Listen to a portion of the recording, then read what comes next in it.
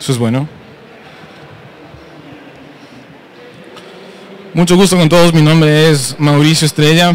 Eh, mi nickname online es Manicho. He tenido algunos problemas con eso, ¿no? Me han llamado y me han dicho, por favor, cambies el nombre. Y yo he dicho, no, es mío. Eh, vivo actualmente en Shanghai, trabajo como director de arte para EF Education First. Es la corporación de educación más grande del mundo. Y vengo a compartirles un poco sobre parte de mi experiencia ya y a la vez conversarles un tema que me apasiona mucho, que es cómo el diseño puede influir sobre el comportamiento humano, cómo a través de pequeñas decisiones de diseño en general, desde diferentes puntos de vista, podemos literalmente manipular la forma en la que la gente se comporta, sea para bien o para nuestro beneficio de alguna forma, ¿no?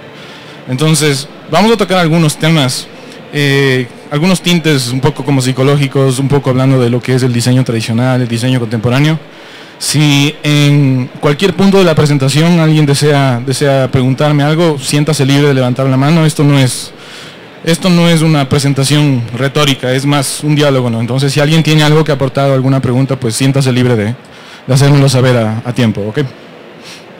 Bueno, vamos a empezar un poco revisando lo que tradicionalmente se conoce como la funcionalidad dentro del diseño. ¿no? Eh, vamos a ver el ejemplo del clásico, qué sé yo, eh, ticket de abordar en un avión a pesar de que cumple su función, a pesar de que cumple su función como información, muchas veces carece de, la parte que de alguna forma organiza la información de una manera más estructurada. Mucha gente piensa erradamente que el diseño gráfico se refiere a que las cosas se vean bien. Generalmente el diseño también se refiere a que las cosas sean fáciles de usar, a que la información mostrada sea fácil de asimilar. Y muchas veces ese contexto es un poco difícil de lograr. Hay que romper muchos muchos esquemas y hay que tratar de olvidarse de que estamos aquí para que las cosas se vean bien y generalmente hay que tratar de que las cosas sean mucho más amigables para, para el usuario. ¿no? Eh, este es un ejemplo de cómo ha evolucionado un poco Delta, en este caso con los tickets de abordar. Ahora ellos tienen incluso versiones pequeñas que caben en la billetera, cumplen con la función, tienen la misma información, pero es mucho más fácil de identificar, lo cual hace que la gente no se atrase a los vuelos, que sea más sencillo, no tienen que estar dando indicaciones a nadie. Eh, y de alguna forma esto contribuye a que el comportamiento sea más sano, más ligero en este proceso de abordar, en este caso, un avión. Eh, este ejemplo, en cambio, combina un poco de ambos mundos. Combina el diseño tradicional, que de alguna forma está ligado a muchas estructuras en el caso de los aeropuertos. No podemos irnos tan lejos y diseñar algo como esto, por ejemplo, porque funcionalmente hablando, muchas máquinas no están listas para generar este tipo de diseños, este tipo de impresión. Eh, sería muy difícil de producir algo como esto, a pesar de que es un diseño bastante, bastante bien elaborado, bastante visual. Sin embargo, este es, esta es la tendencia que ahora Delta está manejando. De igual manera, si pensamos en, en irnos hacia el otro extremo, este es un pase de abordar de New Zealand Airlines. Eh, esos fueron mucho más lejos, esos rompieron por completo el esquema tradicional y tienen un diseño totalmente diferente. Es de pronto un poco más amigable, un poco más un poco más informativo, pero la gente que está toda a volar tiene problemas con este ticket. Lo que nos lleva al asunto sobre el rediseño, hasta, cuán, hasta qué punto el rediseño de algo representa un beneficio para el usuario. En el caso de American Airlines, ellos hicieron un rediseño que fue de esto a esto. Para mucha gente fue un cambio muy amigable, pero para mucha gente que llevaba mucho tiempo conociendo la marca fue un paso hacia atrás, porque mucha gente erróneamente percibe el exceso de información como algo valioso. Mucha gente necesita tener muchas cosas a la vista para asegurarse de que la marca de alguna forma tiene más valor. Es una percepción un poco errada en cierto sentido, pero obviamente hay un punto medio al que hay que lograr. ¿no? Por eso fue que American Airlines tuvo que volver de esta decisión a la anterior. Ahora, un poco hablando de todo esto, ¿cómo es que decidimos cuándo es bueno cambiar algo, cuándo es bueno mejorar algo. Todo esto viene dado de lo que se conoce como user experience o la experiencia del usuario. Esto se refiere más a una serie de disciplinas que prácticamente lo que hacen es mejorar la forma en la que un producto es usado por un cliente, por un usuario, por un consumidor. No se piensa solamente en que se vea bien, sino se piensa en que sea consumible. Y hay muchas disciplinas detrás de la experiencia de usuario. Ah, está, qué sé yo, la, arquitectura de información, diseño interactivo, la estrategia de contenido, el diseño de experiencia y lo que vamos a topar hoy que es el diseño persuasivo. El diseño persuasivo prácticamente habla de cómo podemos anticipar una decisión en el usuario, cómo a través del diseño nosotros podemos no adivinar, porque sería un término bastante mágico, pero cómo anticipar a lo que un usuario puede hacer con lo que nosotros estamos presentando. Esto se aplica más generalmente en diseño de interfaces, en diseño web, en donde las decisiones del usuario son vitales. No se aplica tanto, digamos, al diseño de un afiche o de un póster. A pesar de que hay muchos parámetros que uno puede controlar para redirigir la atención a cierto punto, hay muchas cuestiones, qué sé yo, con color, con forma, que uno puede jugar para lograr un efecto diferente. Entonces, un poco con este, con este preámbulo, eh, hay tres fases importantes sobre el comportamiento. Hay tres disciplinas. El user research, la investigación sobre el usuario, entiende el comportamiento, entiende la forma en la que ellos actúan. El diseño interactivo, el interaction design, en cambio, promueve el uso de un producto o de un servicio a través del comportamiento que la disciplina anterior logró darnos como pauta. Y el diseño persuasivo es el que influye sobre el comportamiento de alguna forma. Esto es lo que vamos a tratar hoy día. Obviamente tiene mucho más impacto y tiene mucho más revenue en el caso de un producto, un producto que estamos vendiendo, un servicio, si es que logramos anticipar estas cosas. ¿no? Entonces, ¿cómo manipulamos el comportamiento? Es, es un tema un poco extraño, suena un poco como, no imposible, pero es, un, es una tendencia bastante nueva, poco conocida. Entonces, hay muchos parámetros que uno puede utilizar para manipular el comportamiento a través del diseño. Hay principios de psicología general, hay principios de psicología del color, se habla mucho sobre la arquitectura de información, el copywriting, que significa la forma correcta de redactar el mensaje que se transmite. Se habla mucho de ergonomía, lo que significa que la forma sea estéticamente placentera para el uso, para la vista, para, no sé, para el cuerpo, si es que es un diseño físico, diseño industrial o un diseño de muebles, por ejemplo, un diseño de una silla en este caso y principios de diseño en general, ¿no? que son muchos parámetros y muchos, muchos contextos que muchos de ustedes me imagino conocen. Entonces, viendo un poco esta cuestión, vamos a, ver rápidamente algo, un principio psicológico que, que, habla sobre el comportamiento. Esta es una tabla de BJ Fogg. Esta es una tabla más o menos general. Es un poco difícil de encontrar en español. Yo le, traducí, le, traduje del inglés. Es probable que no esté totalmente precisa.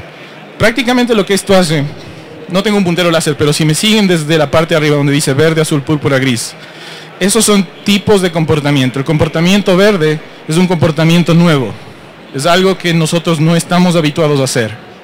El comportamiento azul es el más común para todos, es un comportamiento familiar, es algo que hacemos regularmente. El comportamiento púrpura habla de que aumentamos la intensidad de cierto comportamiento. El comportamiento gris, por su contrario, disminuimos la intensidad o disminuimos la frecuencia con la que un comportamiento es realizado, ¿no? Y el comportamiento negro se refiere a cuando dejamos de hacer algo, detenemos un comportamiento que exista. Asimismo, si me siguen en la parte vertical, tenemos tres ejes. Tenemos eh, el comportamiento tipo punto, que significa que lo hacemos una vez, el que es tipo segmento, lo que significa que cierto comportamiento lo realizamos durante un periodo de tiempo, puede ser una semana, dos semanas, un mes, lo que sea y el comportamiento de ruta, que es el más trascendental. Significa que de hoy en adelante vas a comportarte de cierta manera. Entonces, ese es el más trascendental, es el que más influye de alguna forma sobre nuestras vidas, porque en cierto punto decides dejar de hacer algo o decides empezar a hacer algo, sea por tu cuenta o por influencia externa. Y psicológicamente hablando es algo muy difícil de lograr. Es muy difícil lograr que un comportamiento cambie de hoy en adelante, sea que sea poco familiar, que sea familiar, que aumente la intensidad, que disminuyas, o sea que detengas. Entonces, un poco pensando en eso, hay algunos ejemplos. Eh, como tengo muchas láminas, vamos a tratar de acelerar un poco, pero podemos desarrollar un poco más en esto si a alguien le interesa más, más adelante. Eh, vamos a ver algunos ejemplos más adelante también sobre, en esta tabla, cuáles son los más difíciles de atacar como diseñadores. ¿Cuáles de estos comportamientos dentro de esta tabla son los más fáciles también, de alguna forma, de, de, influir, ¿no? de tal manera que podamos positivamente conectarnos más con el usuario. Algo que mucha gente ignora es el hecho de que funciona como en el caso de los bebés. A mí me encanta hablar sobre, la, sobre el vínculo emocional que uno crea con los usuarios a través de un diseño. Cuando un bebé llora, los papás van y o sea, le ayudan al bebé, le calman, le, abrazan, todo, ¿no? Entonces esto libera, neuro, libera cosas en los neurotransmisores que hacen que el bebé se sienta bien. El bebé aprende que cada vez que llora, los papás van a estar ahí por él, ¿no? De igual manera, si ustedes logran una conexión emocional con, con su base de usuarios, a la larga, los usuarios van a perdonar de alguna forma las, las limitaciones que de pronto su aplicación o su servicio, su sitio web o su producto pueda tener. ¿Por qué? Porque tienen un, un vínculo emocional muy grande hacia la marca. Es por ejemplo en el caso de, qué sé yo, celulares, en el caso de, de, Apple, en el caso de los iPhones, cuando sale un nuevo producto y sale con alguna nueva característica extraña, o cuando actualizan el software y dañan algo. Mucha gente es así como que no, y después todo el mundo está contento de alguna forma porque tienen un vínculo emocional con la marca. Como cuando Facebook introdujo el timeline, mucha gente era como, no, qué feo, que no sé qué, y creaban comunidades. Dale like si no quieres el timeline. Y a la final todo el mundo tuvo que aguantarse de alguna forma, ¿no? y existe suficiente vínculo emocional y suficiente uso de alguna forma con ese producto que a la larga no nos interesó. Entonces, todo diseño influye sobre el comportamiento y como diseñadores no siempre consideramos el poder que esto nos da para ayudar a la gente o para manipularla de alguna forma, ¿no? Siempre pensando de alguna forma positiva, ¿no? Si no suena un poco como maléfico, así, como villano de Disney. Entonces, esta presentación está meramente basada en ejemplos de la vida real. Vamos a ver muchas láminas con ejemplos clasificados en diferentes ramas para que ustedes vean cómo con cosas extremadamente sencillas nosotros podemos alterar el comportamiento de la gente. Este es uno de los que más me gusta, ángulos. Usa ángulos para corregir acciones. Si ustedes se olvidan temporalmente de la fotografía, el mensaje que está a la izquierda es algo que ustedes fácilmente pueden aplicar a diseños tradicionales. El uso de ángulos para corregir acciones es algo que se puede aplicar en diseño de productos, en diseño de afiches, en diseño editorial, en diseño fotográfico. Hay muchos, muchas aplicaciones para eso. En este caso, estamos en la arquitectura. Entonces, fíjense que, por ejemplo, el simple ángulo que tienen en ese, en ese tarro que es para desechar los cigarrillos, el simple ángulo que está elevado en la parte de arriba, evita que la gente suelte los cigarrillos en la parte de arriba. ¿Por qué? Porque si suelta el cigarrillo se cae. La gente percibe anticipa esa probabilidad y la gente ya no ensucia. Porque si es un contenedor recto, lo que pasa es que la gente simplemente deja ahí. Entonces se acumula todo. Pero si inclinas eso, la gente no va a ensuciar. En todo caso lo usa para pagar, pero va a votar donde se debe. Otro principio en arquitectura bastante bien usado es el posicionamiento. Nuevamente, imagínense que el texto a la izquierda está aplicado a cualquier tipo de diseño. Es aplicable. Coloque elementos de interacción en lugares estratégicos para el beneficio del usuario. En el caso del ejemplo, este botón que, que hace que la luz verde se active está posicionado al lado derecho, de tal manera que cuando tú presionas el botón, inconscientemente estás mirando el tráfico que viene. Eso produce el efecto de que, bueno, o sea, no hay tráfico, no necesito presionar el botón, puedo cruzar, si es que estoy en Quito, claro. O me mantiene alerta, si haya presionado el botón y tenga luz verde, de alguna forma ya anticipé el tráfico viniente. ¿no? Y eso, imagínense si hubiesen puesto al otro lado, eso es una acción extra, ¿no? estar pendiente a lo que está pasando. Otro ejemplo clásico es el bloqueo, interceptar al usuario y obligarle a tomar una ruta alternativa. Eso es lo que hace la policía aquí todos los días y nunca le sale bien. Interceptar al usuario y hacerle tomar una ruta alternativa. En este caso, eh, no recuerdo el nombre que estas cuestiones tienen en el sistema vial, pero muchas veces tienen barreras que lo que hacen es frenarte, no te dejan cruzar la calle de alguna forma corriendo, ¿no? Entonces te obligan a frenarte, te obligan a tomar una decisión un poco más tranquila, un poco más calmada. Es algo muy utilizado en China, por ejemplo, donde vengo, donde la gente tiene una percepción espacial un poco extraña. La gente piensa así, soy yo y punto, y camina en línea recta. Entonces, de alguna forma, esto ayuda mucho a prevenir accidentes en los cruces. Eh, otro principio muy famoso en Europa, sobre todo es el laberinto sueco que se llama. Si alguien ha tenido la oportunidad de viajar o conocer una tienda que se llama IKEA, es una tienda sueca de muebles, una de las estrategias de ellos es crear un laberinto dentro de la tienda, lo que le obliga a uno a caminar por toda la tienda antes de llegar al punto de salida. Obviamente hay ciertos atajos, ¿no? ciertas puertas escondidas detrás, así en las esquinas por los que uno puede ir en línea recta. Pero prácticamente eso es lo que hacen, es direccionan al usuario en la ruta que ellos quieren, pero siempre dejándole llegar al destino final. Eso puede ser algo muy beneficioso, incluso por ejemplo para compradores impulsivos. Es muy común que haya productos pequeños junto a las cajas. Ya al momento de salir te topas con algo que probablemente te olvidaste o que de pronto dices, oh, quiero uno de estos. Es una estrategia muy buena. Y de hecho en mercadeo, por ejemplo, cuesta muchísimo dinero poner productos en la caja. Cualquiera diría que cuesta mucho dinero invertir para que los productos estén en la percha a cierta altura. En realidad eso depende del movimiento del producto muchas veces.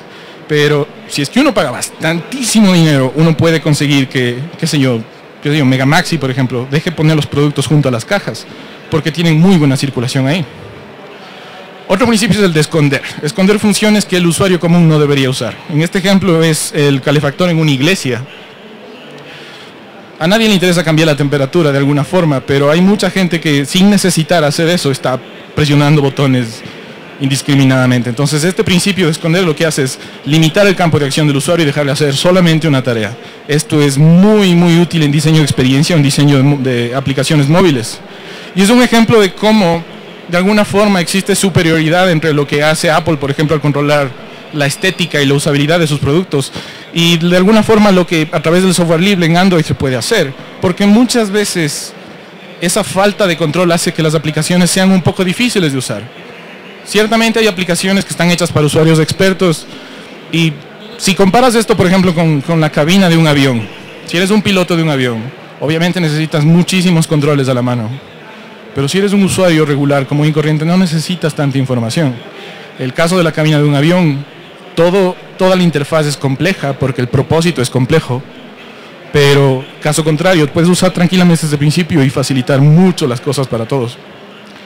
Otro ejemplo de correas es guiar y llevar al usuario a su destino con el menor esfuerzo posible. Algo que dijo Bill Gates que me encanta es que confíale siempre una tarea compleja a alguien vago porque él siempre va a encontrar el camino más corto para resolver un problema, lo cual es muy cierto. Incluso cuando, por ejemplo, hacemos user testing donde trabajo, tratamos de hacer user testing con estudiantes que no rinden muy bien, precisamente porque ellos siempre encuentran el camino más corto para solucionar un, problema. Entonces lo que hacemos es estudiar qué hacen ellos y tratar de facilitar esa vía para todos los demás. Eso mejora la usabilidad y hace que el click-through sea mucho más alto y todo, ¿no? Vamos a ver un ejemplo en prevención de errores, lo cual es muy útil, por ejemplo, para desarrollo de software. Eh, el preguntar si está seguro, obligar al usuario a tomar un paso adicional para confirmar una decisión. Por ejemplo, para abrir una puerta de emergencia, en este caso, te obligan a bajar la ventana, sacar el brazo y recién ahí abrir la puerta. Son muchos pasos de confirmación que previenen errores. Si esto lo trasladamos a cosas cotidianas, ah, por ejemplo, Tumblr, conocen Tumblr, ¿no es cierto? El, el, motor de blogs. Ellos tuvieron un problema grave en la primera versión porque no pedían confirmación ni de correo ni de contraseña. Entonces había gente que escribe tan rápido que a lo mejor en vez de .com ponen, no sé, en vez .com o algo así. Y Tumblr no tenía validación de esas cosas porque no pedía confirmación. O de pronto escribes la contraseña que siempre usas, patito feo, y de pronto escribiste patito fei no hay manera de que sepas que cometiste un error porque no hubo confirmación. En el caso de alertas, es siempre útil detectar y notificar sobre un error o evitar uno que se va, a cometer. El ejemplo más claro es el, qué sé yo, el freno de mano en un carro. Obviamente existiría la probabilidad de que cuando el freno de mano está activo, el carro se bloquea electrónicamente y no te deja mover. Por convención internacional no hacen eso, ¿no? El freno de mano simplemente enciende una luz. En teoría puedes manejar con el freno de mano prendido. Yo por accidente hice eso una vez, pero no deberían hacer eso. Entonces, estas alertas lo que hacen es prevenir errores que pueden llegar a cometerse o prevenir errores que están a punto de ser cometidos. Ah, otro principio bastante utilizado, que es un poco mañoso para muchos de nosotros, es la secuencia forzada, que significa no dejar tomar una acción, no dejar anticiparse antes de que otro paso sea completado. En el caso del cajero, por ejemplo, uno no puede, muchas veces depende del cajero, aún uno no puede recibir el dinero sin antes retirar la tarjeta. Hacen eso por seguridad, para que la gente no se olvide la tarjeta. Entonces uno está esperando el dinero y no puede porque tiene que coger la tarjeta primero. Te obligan a tomar ciertos pasos para prevenir errores. Tareas restringidas. No dejes que el usuario cambie de tarea bruscamente. Esto es lo peor que ustedes pueden permitir. Si es que están a cargo de User Experience, el, dejar que un usuario cambie de tarea bruscamente hace que pierda valor por completo el producto o servicio que están usando. Es muy importante mantenerles dentro del esquema. Es muy importante hacerles saber que están a punto de cambiar de tarea con un paso extra. En este caso, si estás manejando, no puedes inmediatamente poner reversa. Generalmente existen mecanismos que tienes que levantar o tienes que empujar la palanca. ¿No es cierto? Eso es un paso de confirmación extra que se usa, por ejemplo, en la vida real. El principio de encajar. Dice, haz que diferentes partes encajen solamente en la posición correcta, o en este caso de los celulares, con los productos que deberían empatar. Existe una sola forma en la que algo encaja, lo cual es muy útil. Muchas veces antes les, habrá pasado, este es un principio muy universal, pero por ejemplo, los, los, cables USB entran de un solo modo, los cables seriales, los paralelos, incluso el mouse, lo que sea, todos tienen una sola dirección. Y ergonómicamente hablando, Hay mucho esfuerzo hoy en día por hacer que las interfaces físicas sean fáciles de detectar. Uno no necesita ni ver el puerto, uno simplemente agarra y enchufa la cuestión. ¿no? Vamos a ver ejemplos de interacción. Estos son probablemente bastante, bastante utilizados o conocidos también. Hay algo que se llama feedback through form, que significa utilizar la forma, utilizar un objeto a, manera de interfaz para transmitir un mensaje. Por ejemplo, cuando aplastas una tecla en el teléfono y el teléfono vibra levemente, esa retroalimentación que tienes te hace saber que, estás cumpliendo una función.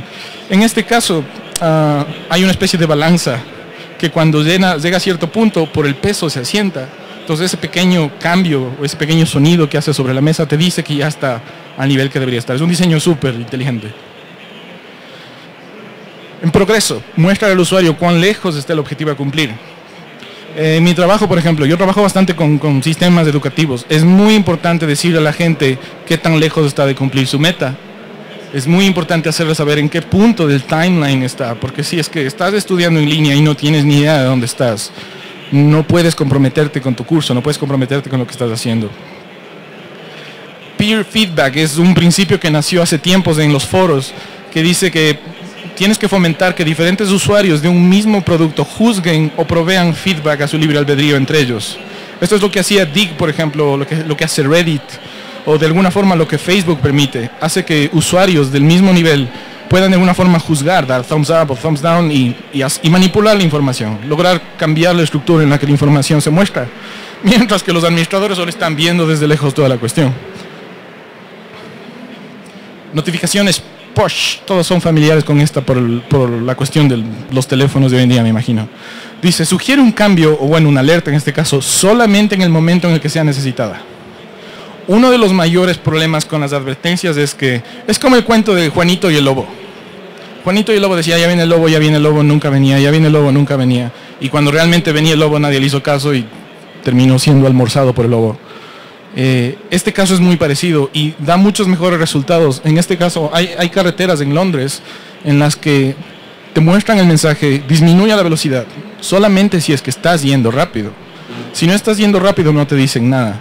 Pero si es que estás manejando a cierta velocidad y ¡pum! te aparece algo, disminuye la velocidad, sientes que estás siendo monitoreado y sientes mucha más responsabilidad por cumplir ese mensaje. Es un principio que no muchos utilizan, pero que funciona de maravilla. Vamos a explorar algo interesante que son principios lúdicos. Lúdico se refiere a cosas como juguetonas, cosas más interactivas, se refiere a juegos en general. Eh, por ejemplo, retos. Esto es súper interesante, por ejemplo, para quienes tengan interés en aplicaciones móviles. Diseña algo que rete a la gente. Eso va a motivar la participación en beneficio tuyo, obviamente, ¿no? Eh, entonces, miren lo que hizo este tipo en una playa. Es prácticamente, necesitaba plata, es, un mendiguito, como decir, en la playa. Entonces lo que hizo él es crear un juego. Lo único que hizo es poner un papel que dice, haga un deseo. Hay un plato de comida que dice, solo estoy hambriento y este man se fue y dejó eso ahí. La gente iba y jugaba con esta cuestión. Y al final del día él va, recoge sus ganancias, lo que sea, y se va a la casa. Entonces él prácticamente diseñó un juego. Él cambió el proceso tradicional de pedir limosna por algo más interactivo. Cuenta cuentos. Tienes que contar una historia a través de tu diseño. Esto es súper importante. Por ejemplo, quienes trabajen, por ejemplo, en ilustración, quienes hagan cómics, saben que muchas veces es mucho más vital el contar una buena historia que el lograr resultados artísticos, ilustrativos, pero ridículamente, exageradamente hermosos o lo que sea, ¿no? Muchas veces la historia rinde más en sí que el, que el resto. Hay muchas, qué sé yo, películas, por ejemplo, que de pronto visualmente no sean tan atractivas, que de pronto el nivel de actuación no es tan, tan bueno, pero la historia es la que de alguna forma nos atrapa. A diferencia de otras películas en donde tienen un reparto increíble que probablemente se gastaron todo el presupuesto de 10 películas en una sola y la historia es horrible. Por ejemplo, qué sé yo, el caso reciente, algo, por ejemplo, no me gustó de Expendables, por ejemplo, me pareció una historia, pero fatal así. Obviamente el reparto es increíble, ¿no? Full testosterona ahí, pero, o sea, no hay historia, no hay balance entre lo uno y lo otro. Piezas faltantes, a la gente le encanta esto deja deliberadamente espacios vacíos que molesten al consumidor, pero que a la vez le inviten a participar o le inviten a sugerir. Eh, hay, otro, hay otro ejemplo que vamos a ver más adelante sobre cómo psicológicamente nosotros tratamos de buscar vacíos siempre. Nuestro cerebro está programado para llenar ausencia de información. Y de hecho hay muchos trucos psicológicos que pueden hacer con eso. Vamos a pasar un rato aquí, vamos a olvidarnos de esta lámina. Voy a darles un ejemplo de cómo nuestro cerebro se desespera por tratar de completar la información que le proveemos. Hay un ejemplo psicológico que dice que si ustedes cortan una pelota de ping pong a la mitad y le hacen dos pequeños agujeros a cada mitad, pónganse las pelotas de ping pong en los ojos y pónganse audífonos que aíslen el sonido de alguna forma. La idea es que se priven por completo de toda recepción a través de sus sentidos. Se acuestan boca arriba, no escuchan nada, no ven nada, luces apagadas. Lo único que ven son dos pequeños puntos de luz. Esa es la poca información que le están dando a su cerebro. Después de unos minutos van a experimentar todo tipo de sonidos locos, colores locos y alucinaciones, pero súper locas. Es, es un ejemplo, es una práctica totalmente segura. No es nada del otro mundo y lo pueden probar cuando quieran. Y eso, eso hace que el cerebro se vuelva loco, porque tiene tan poca información que lo que hace es disparar un montón de electricidad dentro de tu cabeza y mostrarte cosas que de otro modo no verías. Otro ejemplo parecido es, por ejemplo, no sé si alguno de ustedes haga yoga. Bueno, yo no hago, es muy famoso allá en China donde vivo. Pero hay un ejercicio de yoga que puede ser imitado de alguna forma. Si es que ustedes cierran un ojo y con mucho cuidado se sostienen prácticamente la esfera, como decir, del, ojo que dejaron abierto, lo que están haciendo es paralizar el ojo. Si ustedes hacen eso, van a empezar a ver una especie de viñeta, como la fotografía antigua, como el efecto en los Looney Tunes del Porky cuando se acaba la película. Así. Van a empezar a ver una viñeta que se va a empezar a encoger y después va a quedar solamente un punto en el centro. Eso es porque el cerebro no puede controlar el ojo. El cerebro pierde la percepción espacial y prácticamente quedan ciegos. Pero si te sueltas el ojo y sacudes un poco la cabeza, regresa a toda la normalidad en dos, tres segundos. Es súper loco si hacen eso. Y ese es un ejercicio de yoga que mucha gente hace para relajarse, ¿no? Simplemente paralizan todo por completo, todo se vuelve negro, meditan, hacen su cuestión y es solamente jugar con esto, ¿no? Piezas faltantes en la cabeza. Otro principio lúdico es el role playing, que significa permitir que el usuario tome un rol en una realidad alterna. Este es el principio de todo juego prácticamente de, de RPG, ¿no? El role playing game. En donde tú creas tu propio personaje, le das características físicas, lo que sea y te, te, aventuras en un mundo totalmente ajeno a la realidad. Esto es un principio muy sano, muy bueno, porque nos ayuda a descubrir cosas muy internas, a pesar de que muchas veces el principio en sí del juego es un poco extraño o no difiere mucho de otras plataformas. El simple hecho de que uno se personifique dentro de una realidad alterna da muchísimo valor al, uso que le das a un producto, a un juego, a, un, algo que diseñes en general, ¿no? En este caso, por ejemplo, esta aplicación que dice Tío, es una aplicación para niños que les, eh, ayuda, que les fomenta a ahorrar energía y de alguna forma les compara con otros niños en el vecindario, en la ciudad. Entonces ellos tratan de ahorrar energía y tratan de ganar puntos porque cada uno de ellos está representado por una especie de animalito, de fantasmita y mientras más gordo es tu fantasmita, más puntos tienes. Otro principio es juega con tu usuario. Dale al usuario algo con lo que pueda jugar. Provócale curiosidad o genera interacción por ejemplo, no he visto esto aquí, pero es común en los aeropuertos, en centros comerciales, en otros países, donde para donaciones tienen una especie de esfera de vidrio, un cilindro gigante. Uno suelta la moneda en la parte de arriba y uno puede ver cómo la moneda baja en espiral o se da un paseo por ahí y tú llegas hasta abajo. Toda, toda esa sensación, todo ese juego de ver la moneda hace que nunca pongas una moneda. Terminas poniendo dos, tres, cuatro, cinco monedas y vas viendo cómo bajan. Entonces, es un principio interesante sobre cómo haciéndote jugar te logran hacer contribuir de alguna forma, ¿no? Otro principio es el, principio viral. Este es bien difícil de anticipar, pero piensan en diseñar algo que sabes que la gente va a compartir, que sabes que va a comentar o que va a reproducir. Algo, por ejemplo, que me pareció muy interesante y que utilicé yo como, como inspiración para un proyecto que hice. Vi una fotografía de un tipo que se tomó una foto con un billete doblado delante de la cara de él. Entonces, era como que la mitad de la cara de él era el rostro de él y la otra mitad era el rostro que está en un billete. Entonces yo tomé eso como premisa y diseñé la portada de un libro que se, llamaba Pensando a través de Gandhi. Entonces el libro lo que tenía es un retrato cortado de Gandhi. La gente que conoce de Gandhi le bastaba ver esa fracción del rostro para saber que era Gandhi. Lo interesante era que cuando la gente se sentaba a leer el libro, todas las personas que estaban del otro lado veían el rostro de Gandhi, pero con la cabeza, la frente de la siguiente persona. Entonces fue interesante porque se volvió viral. Mucha gente empezó a compartir fotos de ese libro y de alguna forma se vendieron un poco más de ejemplares, que bueno, cambió de pronto por unos cientos, pero de todas maneras fue un, un impulso extra, ¿no? Entonces siempre piensen en estas cuestiones. Ahora que es el boom de las redes sociales, ahora que la tecnología de alguna forma nos ha vuelto prisioneros de nuestros celulares. Las redes sociales de alguna forma nos ayudan a lograr mejores impactos. Entonces piensen, piensen siempre cómo pueden aprovechar el boom que tenemos ahora para, para lograr eso, ¿no? Otro principio lúdico es el de usar niveles. Dividir un sistema en diferentes consumibles o niveles fáciles de alcanzar, como lo que hace Farmville. De alguna forma te da ciertos niveles que hacen que sientas que estás haciendo progreso de alguna forma. Un ejemplo muy claro puede ser, qué sé yo, quienes han jugado Mario World en, en Super Nintendo. Era muy, muy claro y muy visual en qué parte del mapa estoy, a dónde tengo que ir y a qué área tengo que llegar, incluso si no era accesible todavía. Entonces es muy tentador el saber que hay niveles y saber que puedo irlos cumpliendo poco a poco, ¿no? Eh, terminando los ejemplos lúdicos con eso, vamos a hablar sobre ejemplos de percepción. Los ejemplos de percepción son cosas muy visuales, son, son cosas de bastante psicología de pronto. Uh, usa simetría para relacionar elementos siempre y usa asimetría para aislar elementos o para fomentar concentración. Un ejemplo claro de esto es que cuando ustedes diseñan, qué sé yo, una tabla comparativa de productos en este caso. Si ustedes diferencian asimétricamente esa tabla por completo, la gente va a invertir mucho más tiempo comparando esos productos. Si ustedes diseñan la tabla de tal manera que tienes la misma estructura en las tres celdas, lo único que cambia es la fotografía.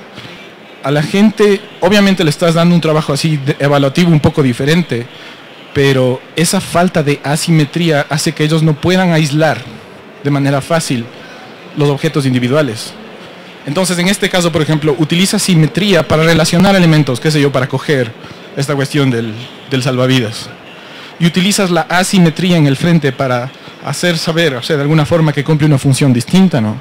Es un principio muy interesante y que de alguna manera causa muchas reacciones. Es por eso que la arquitectura moderna tiende mucho a ser asimétrica.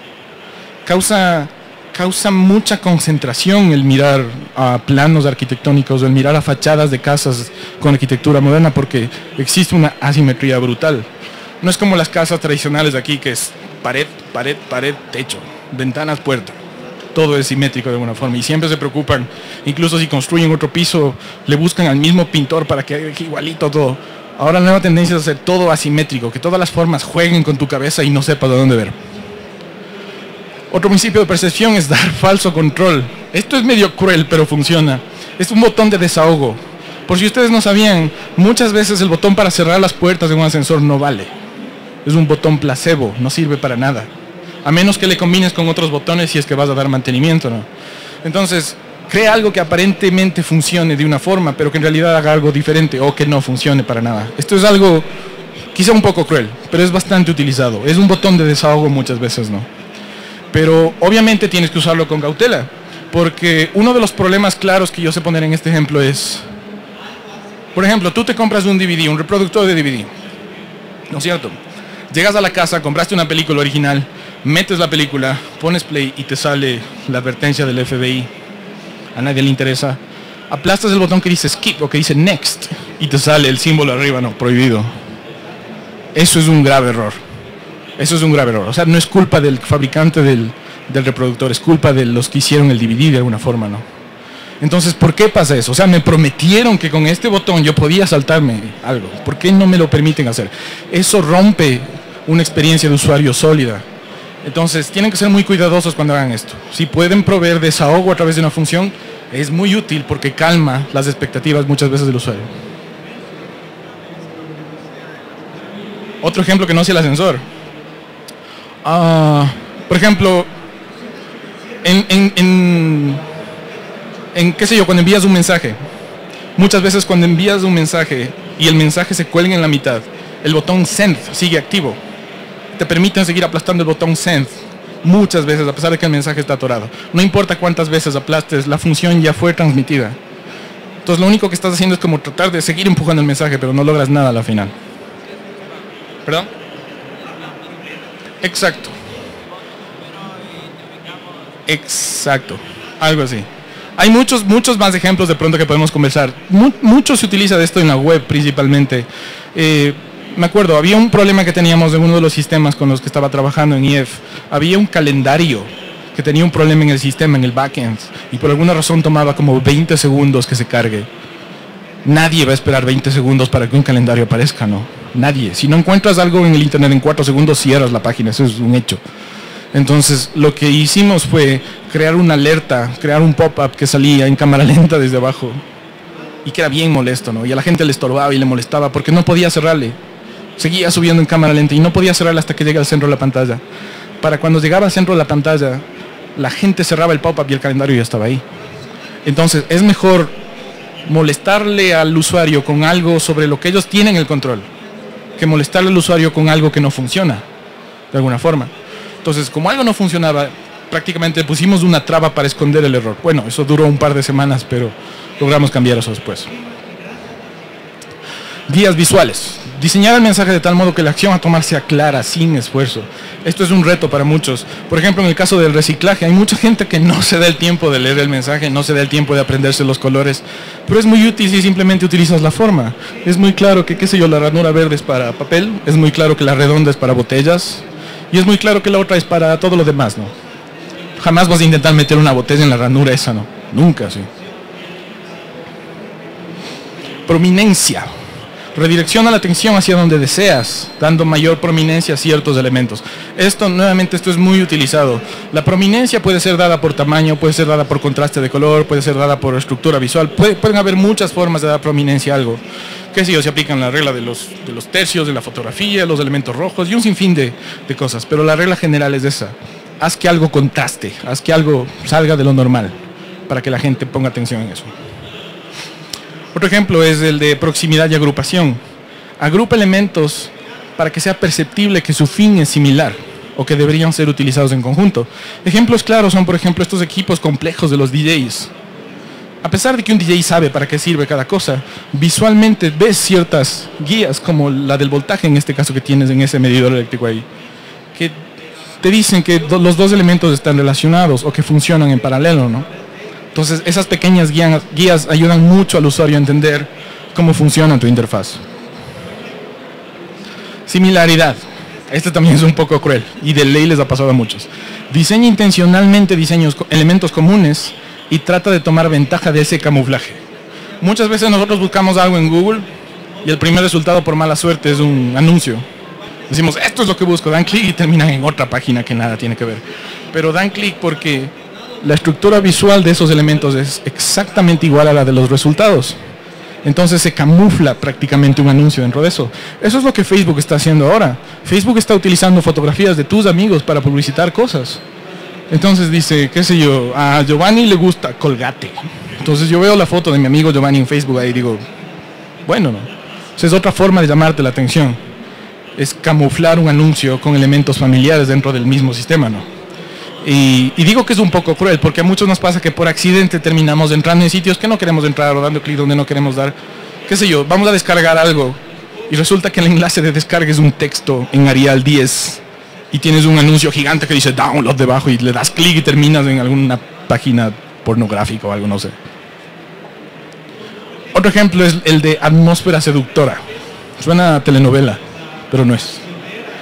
Este dice que puedes utilizar ambientación sensorial, sea con sonido, luz, con aromas, para fomentar interacción o consumo o para promover comportamiento. Por ejemplo, he puesto el ejemplo de Subway ahí, porque es conocido que Subway tiene un aroma patentado. Tiene una especie de aceite que es introducido muchas veces. Lo único que hacen es simplemente sueltan el aceite sobre algo y de alguna forma el aceite se consume y ese aroma es el que le atrae a la gente probablemente no sabían esto, pero Apple tiene una especie de rociadores que lo que hacen es sueltan un micro spray de aroma dentro de cada caja antes de ser sellada. Por eso es muy común que cuando uno compra un producto Apple, por ejemplo, uno abre la caja y uno siente este como que ¡Ah! tengo un producto Apple. Es intencional. Eso viene adentro y existe. De hecho pueden buscar en Google si les interesa. Marca personal. Este me encanta porque es, es increíble el efecto que esto tiene. Alguien en Londres se le ocurrió la idea y empezaron a hacer esto en las, en las cafeterías de Starbucks que hay ahora. Bueno, en casi todo el mundo hacen eso. Si pides un café, si estás en la fila, te preguntan tu nombre. Todo lo que pides tiene tu nombre escrito con marcador. Y lo que hace eso es, eso crea una relación mucho más personal con lo que tienes. Y eso hace que la gente no vote basura. ¿Por qué? Porque te sientes responsable de votar al suelo o botar donde sea algo que tiene tu nombre. Es como que chuta, tiene mi nombre, entonces con más responsabilidad botas en la basura. Y hay muchas tiendas en China que ahora hacen eso para comprar. Te dicen cuál es su nombre. Entonces, a medida que están escaneando los productos por el lector de código de barras, hay otra máquina que con una etiqueta pega un pequeño membrete en cada funda de cada cosa que compras. Entonces llegas a la casa y todos tus productos tienen tu nombre. Yo una vez jugué con eso y dije que mi nombre era Gandalf. Entonces llegué y me sentía como Gandalf el Supremo en la casa así comiendo yogur o alguna cosa. Entonces es muy interesante cómo eso fomenta responsabilidad, genera responsabilidad cuando uno se apropia de un producto. Y hay principios diferentes, no solamente poner el watermark, se llama, ¿no? sino hay principios diferentes de crear esa conexión para que la gente se sienta más responsable con lo que haces. Ejemplos en psicología.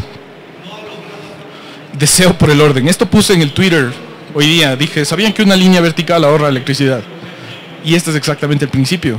Cuando prendes la luz, en este caso, Dice, usa el deseo del usuario por arreglar, acomodar o limpiar cosas para influir en ellos sobre cómo toman una decisión. Si ellos prenden la luz, ya no existe orden, ya no es una línea vertical, ahora es una línea rara. Y eso de alguna forma te incomoda. Y eso te fomenta que apagues la luz. Eso te fomenta que no enciendas la luz a menos que sea estrictamente necesario. Entonces es un principio muy interesante. Eso se aplica bastante en Europa, donde tienen una crisis energética brutal en algunos países. Haz lo que te dicen. Esto también es interesante o que tiene que ser usado con cautela porque hay muchas connotaciones legales detrás de esto. ¿no? Eh, el uso consciente de iconos o figuras autoritarias promueve el seguimiento de las reglas que tú definas. Si tú defines reglas en tu diseño, en tu producto, y tú te haces ver como una autoridad, la gente va a respetar esas reglas. Si pones como sugerencias, muchas veces dices sugerencias de uso, la gente no va a hacer caso a sugerencias. Las sugerencias son percibidas como opiniones personales. Pero si tú pones modo de uso, significa que así se usa y punto. No es una sugerencia. No es tan cordial decir, te sugiero que hagas esto. No, esto tienes que hacer. Entonces el impacto es diferente y la gente te va a hacer caso de alguna forma. ¿no? Recursos escasos. Todavía la gente se come este cuento siempre así. Si enfatizas que un recurso es valioso en cantidad limitada o en peligro de extinción, puedes lograr un buen resultado. Sea que esta extinción sea real o artificial. Muchas veces uno camina por un almacén y dice, últimos remates, qué sé yo, 50% de descuento. Vas al mismo almacén después de tres meses y tienen exactamente el mismo rótulo. Entonces, una opción es que estos tipos tengan una bodega con toneladas de blusas o de ropa o lo que sea que vendan y la otra opción es que te estén mintiendo solamente para engañarte ¿no? y hacerte comprar más porque crees que se va a acabar. De alguna forma la gente se desespera cuando sabe que un recurso se va a terminar. Por eso siempre empiezan las peleas, empiezan las broncas, porque se va a acabar el petróleo y hay un montón de cosas. Entonces es un principio que de alguna forma puedes utilizar para tu propio beneficio. ¿no?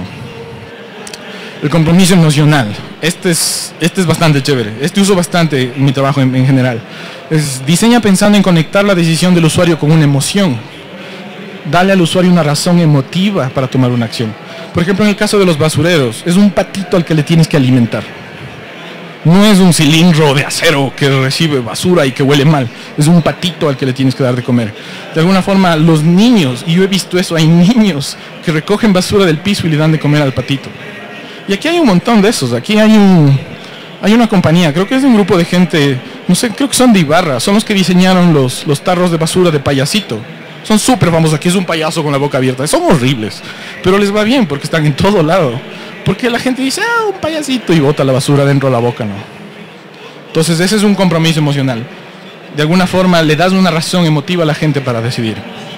Reciprocidad. Eh, este no funciona tan bien de pronto en diseño interactivo, qué sé yo, un diseño web, pero en muchas campañas o en muchos principios, qué sé yo, con con organizaciones de caridad, por ejemplo, funciona bastante bien. Dice, si le haces sentir al usuario que le hiciste un favor, de alguna forma puedes despertar el deseo de reciprocidad, de que te regresen el favor. Lo que hace este tipo tocando la, guitarra en Estados Unidos, él no te pide dinero, él simplemente toca al lado de un, un montón de postales, y es lo que dice, postales gratis, tome una. Entonces te acercas, coges una postal, pero sientes que tienes el deber de regresar el favor. Y a pesar de que él no te pide dinero, tiene un pequeño asunto ahí en el que tú puedes poner monedas. ¿Y le va bien? Opinión experta. Este es el único principio que he dado hasta que es re famoso aquí en el Ecuador. Eh, si, le, si le muestras al usuario ¿qué es lo que haría un experto en tu caso? De alguna forma le convences mucho más fácil, ¿no? Y el asunto es que la cultura ecuatoriana es tan novelera que en cuanto pones una cara famosa al lado de algo, la gente se vuelve loca y consume ese producto, pero le ataca. ¿Qué sé yo? No, no, no tengo ningún ejemplo en la cabeza, se me ocurren muchos. ¿Qué sé yo? Jefferson Pérez usa el Banco del Pichincha, todos van al Banco del Pichincha. Carla Sala usa jabón suave, todos usan jabón suave. Entonces, son influencias que gracias a la novelería y, y esa imagen que tenemos de muchos personajes hace que se nos facilite tomar una decisión así sea la, peor decisión que tomemos. La influencia de figuras famosas en la toma de decisiones suele dar resultados muy positivos, pero hay que, hay que usarlas con cuidado, obviamente. ¿no? Opciones siempre positivas. Esto es algo que nadie hace aquí, no entiendo por qué. Es muy claro. Tienes que diseñar diferentes opciones de forma que el, el rango de decisiones que tú proveas siempre parezca positivo. Por ejemplo, en el caso de la cafetería Starbucks, a mí me encanta porque ellos tienen una concepción de marketing increíble. Ellos no tienen pequeño, mediano y grande ellos tienen alto, grande y mega grande de alguna forma. Entonces tú nunca pides un café pequeño. Tú nunca sientes que el café pequeño tiene poco valor. Tú siempre, así sea la, opción más económica la que pidas, sientes que te estás llevando algo bueno porque se llama grande. Entonces tú defines el rango de diferente forma y eso fomenta un comportamiento de compra diferente, ¿no? Vamos a ver ejemplos maquiavélicos. Estos son los ejemplos malvados. Estos son cosas que deberían tratar de no hacer pero que de todas maneras vamos a mostrar. Si alguien les pregunta, nadie me conoce. Siembra tensión. Imagínense música de terror de fondo. Dice, afecta las expectativas del usuario controlando los puntos de referencia que le muestras. Esto es muy útil porque a veces es fácil engañar las expectativas de la gente al mostrarles algo. Bueno, este ejemplo es un poco diferente. En este ejemplo de los restaurantes, muchas veces los restaurantes ponen como platos, no sé, como resaltados en el menú ciertos platos que de alguna forma te dan ya una expectativa de cuánto vas a tener que pagar. Así no pidas esos platos. De pronto llegas a un menú, abres el menú, qué sé yo, de crepes and waffles, abres el menú y dices, voy a pagar 15 dólares por cabeza. Apenas abres el menú ya sabes, porque inmediatamente el diseño hace que ya sepas qué esperar, ¿no? Eso es algo en teoría maquiavélico, pero que puedes utilizarlo para tu propio beneficio. De alguna forma tensionas las expectativas de la gente. El crippleware, no, no existe traducción para este es algo así como deshabilitar el hardware o, algún producto en general. Dice, deshabilita funciones o impide acceso a funciones aparentemente presentes. Este ejemplo muy, muy, muy turro que hizo la Sony, por ejemplo, cuando existía el mini disc, existían dos tipos de mini disc, los de 50 minutos creo y los de 90 minutos. Físicamente era exactamente el mismo disco. El costo de fabricación era el mismo, la estructura exactamente la misma la única diferencia es que Sony dañaba una parte del disco para que no la puedas usar y te la vendía a otro precio. No existía razón para hacer eso, pero ellos lo hicieron porque de alguna forma querían abarcar más, ¿no? Querían dar esa falsa impresión de que existe una diferencia entre dos productos que es exactamente el mismo. El primero es gratis, esto suena a propaganda antigua.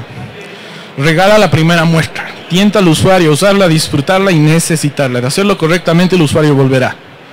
Ejemplos no voy a poner, pero qué sé yo, en el caso de que, de, qué sé yo, manuales de usuario de libros o de cómics, les dejas descargar un par de páginas, les das un sabor de la, de la historia y de ley van a regresar por más. Es ese principio que utilizan los trailers de las películas. Y es increíble porque muchas veces tú ves un trailer de una película en enero y pasas pensando en esa película durante meses dices, tengo que ver esta película y, y, a pesar de que no se te grabe la fecha, tienes el nombre de la película en la cabeza, ¿no? Eso significa que hicieron un buen trabajo. Te dieron esa pequeña muestra que te persigue, así te habla detrás de la cabeza, ¿no? Esto es bastante importante, se, se llama dicotomía forzada. Dicotomía es la capacidad de decidir por diferentes cosas. Dice, diseña pensando en evitar decisiones sin valor. Obliga al usuario a escoger una cancha. Si, si haces una pregunta y les das cinco opciones en un arreglo horizontal, significa que ellos pueden escoger la opción del medio. La opción del medio no te dice nada. Es como si no te hubiesen contestado. ¿Para qué vas a preguntar algo y darles cinco opciones? Dales cuatro. Así les obligas a ser negativos o positivos en su respuesta. Así les obligas a pensar, les obligas a no ser indiferentes. Y aquí todo el mundo te da cinco opciones. Diseños perecibles. Diseña algo que pueda perecer, algo que pueda morir algo que se siente incompleto o que se sienta reemplazado por una nueva versión. A pesar de que tecnológicamente no existe absolutamente ningún impedimento para que el primer iPhone siga funcionando, pues no. Todo el mundo quiere el iPhone 4, que el 4S, que después el 5, que el 6, que el 10. Terminas con un sable láser en el iPhone 20. Pero esa es la forma en la que ellos mercadean sus productos. Te hacen creer que es obsoleto, te hacen creer que es perecible a pesar de que funciona perfectamente bien. Elimina la opción mala. Dale siempre dos opciones al usuario. Dale la, píldora azul y la píldora roja en The Matrix. Dale los dos chances, pero foméntales usar el que te conviene. Diseña algo de tal manera que la opción que no te beneficie sea percibida como peligrosa o amenazante. ¿Qué sé yo? En el caso de las tiendas, tienen una especie de sensor eléctrico que en cuanto tú intentas sacar el sensor eléctrico, esta píldora revienta y te mancha de tinta, daña la prenda, no te sirve nada intentarte robar algo manchado, te manchas, te delatas como ladrón. Entonces tienes la opción de portarte bien o de intentar robar pero salir perjudicado, ¿no? Esa es la opción de la píldora, de eliminar la opción mala. Elimina preocupaciones. Dice, dar al usuario un alivio a una preocupación existente. Sembrar una preocupación en el usuario es una buena opción para influir sobre su decisión de compra. Sí. Por ejemplo, no sé si ustedes sabían, pero el término halitosis fue inventado por los laboratorios que crearon el Listerine Ahora es un término médico, los médicos te hablan de halitosis, que fue una palabra que ellos inventaron. Y después ellos te ofrecieron la cura. Dijeron, la halitosis, se presentó el problema. Listerine, esto es la solución. Y ahora es un término que hasta está en el diccionario médico hoy día. Finalmente, esto es ya para cerrar, los ejemplos en seguridad. Ambientación, esto es algo que puse en Twitter. Diseña ambientes que faciliten o dificulten comportamientos a través de luz, temperatura, color, movimiento, etc. Por ejemplo, He sabido que en espacios públicos, cuando quieren que la gente se vaya, cambian la música. Te ponen música de fiestas de Quito cuando ya quieren que te vayas. O te prenden todas las luces o apagan el aire acondicionado. Eso significa que tienes que cambiar tu comportamiento. En este ejemplo, que es muy interesante, están utilizando luces azules en los baños en Chicago, en Los Ángeles y están probando, creo, también en, en Detroit, me parece. Están poniendo luces azules en los baños para evitar que la gente se drogue en los espacios públicos. Porque con la luz azul no puedes verte las venas. Entonces el índice de drogadicción en espacios públicos bajó por el simple hecho de colocar una luz azul. El ejemplo de monitoreo. Diseña pensando en que puedas monitorear lo que los usuarios hacen con tu producto o tu servicio. Si les haces creer de alguna forma, así sea falso, que les estás vigilando, el comportamiento cambia por completo. Muchas veces hay cámaras de seguridad falsas en oficinas que lo único que hacen es regular o normar el comportamiento malicioso que de pronto uno o dos puedan tener en una organización grande, ¿no? El castigo. Desarrolla un diseño que castiga al usuario por comportamiento no permitido. Esto es brutalmente usado, sobre todo en Europa, por alguna razón. Perdón. Eh, por ejemplo, qué sé yo, las clásicas botellas, los picos de botellas en las casas antiguas. De alguna forma se puede percibir como un diseño que castiga al ladrón. Es algo parecido a lo que se utiliza, por ejemplo, cerca de las aceras. No permiten que te subas ahí porque te puedes caer hacia adentro donde están las gradas y te matas, quién sabe. Finalmente, conclusiones. ¿Qué podemos sacar de todos estos pocos ejemplos que hemos visto? En, total, tengo, tengo una presentación más grande como de 150 ejemplos, pero es un poco pesada de pronto para el tiempo que teníamos. Entonces, he tratado de reducir todo esto a ejemplos cotidianos. Muchas de estas cosas son cosas que ustedes ya han visto. Pero de pronto son cosas que han pasado por alto, son cosas que ustedes jamás se preguntaron quién fue el que diseñó esto, quién fue el que salió con esta idea. Y obviamente hay mucho campo, mucha aplicación para que ustedes con pequeñas decisiones logren influir grandemente sobre el resultado del comportamiento que la gente tiene. Hay muchos principios obviamente que necesitarían descubrir, explorar, leer, pero son detalles que uno puede aprender y uno puede lograr una gran diferencia con esto. El diseño contemporáneo trae consigo nuevos determinantes, dice. Hay nuevos retos y nuevas oportunidades para quienes sabemos desarrollarlo adecuadamente. No es como el diseño antiguo. El diseño antiguo era un diseño bien afirmativo. Era un diseño que resolvía problemas muy obvios. El diseño contemporáneo es un diseño más crítico de alguna forma. Es un diseño con una, de pronto una misión un poco más, un poco más aplicada. De alguna forma es como los físicos teóricos y los físicos y los físicos prácticos siempre están discutiendo porque no, que no puedes, no, que sí puedo de alguna forma pienso que ese es el camino del diseño. Va a haber un diseño teórico, va a haber un diseño práctico, en el que mucha gente va a mantenerse en el campo abstracto del diseño del arte y mucha gente que va a preocuparse por cómo el diseño puede influenciar a cambiar las cosas. Si volvemos a esta tabla de comportamiento, podemos ver que hay ciertos comportamientos que son fáciles de atacar, los que están en verde, no sé si se ven, y ciertos comportamientos que son muy difíciles de atacar, los que están en rojo. Entonces, el comportamiento azul, como habíamos visto, es un comportamiento familiar, es algo que estamos habituados a hacer, sea una vez o sea durante cierta duración. Pero lograr cambiar un comportamiento drásticamente es muy difícil. Obviamente no es tarea simple de un diseñador o no es tarea de un grupo de marketing, es tarea de muchas personas que trabajan en conjunto de lograr que un producto pueda realmente cambiar la forma en la que percibes las cosas o la forma en la que le usas o la manera en la que haces las cosas. Entonces, estos son los que en teoría deberían atacar. Y este es el más difícil, la ruta negra que se conoce, de tener un comportamiento de hoy en adelante. Si alguien logra desarrollar algo, si alguien logra diseñar algo que haga que uno tenga un comportamiento negativo de hoy en adelante, no tienen idea del valor que ese producto puede tener, no tienen idea del, bueno, económicamente hablando, no tienen idea de la plata que podrían llegar a hacer si logran percibir un producto que logra hacer eso. El crecimiento de esta conciencia sobre la experiencia del usuario ha abierto un montón de puertas a mentes dentro de ramas que durante mucho tiempo han pasado alejadas del diseño.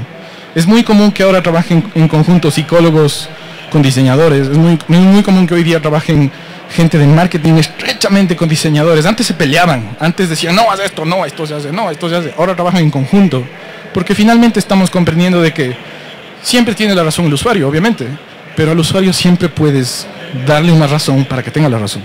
Siempre puedes hacerle cambiar de razón. Le das la razón, obviamente, pero no le haces saber que fue tu idea original. Gracias.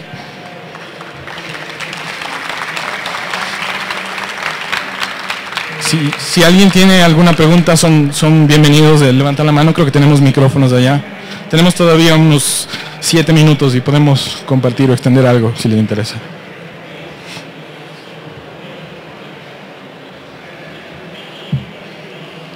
¿Nadie? Bien, pues muchas gracias otra vez. Les hago acuerdo, mi nickname en Twitter es Manicho, si me quieren seguir. Tengo algún poco de cosas publicadas en internet. Si buscan Manicho en Google, les va a salir todo lo que necesitan saber sobre mí. Y por ahí un par de fotos de un chocolate. Así que gracias por asistir. Y si a alguien le interesa, tengo otra charla ya, cruzando el campus hacia el otro lado. Gracias.